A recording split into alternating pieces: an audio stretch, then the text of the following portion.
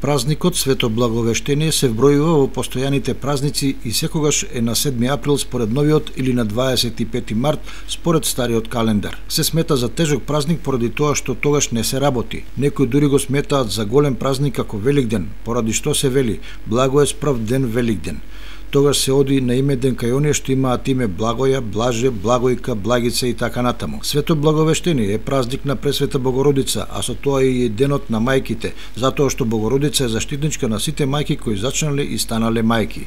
Тоа е ден на мајката која дала нов живот. Тогаш децата и благодарат на мајката, јагушкаат и даваат дарови во знак на љубов, почит и внимание.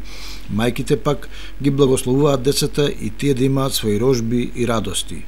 Така што првото нешто што треба да го направите наутро е да ја прегрнете и да ја бакнете мајкави. На овој ден се покажува особена сострадалност и помош кон сирачињата, кон бедните и кон унесрекените.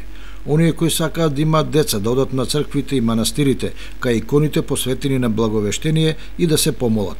Според народните верувања, овој ден е благ, па и раната не боли, и затоа на малите деца им се дупат ушите за обетки. Се верувало дека благовештение жените не треба да се чешлаат.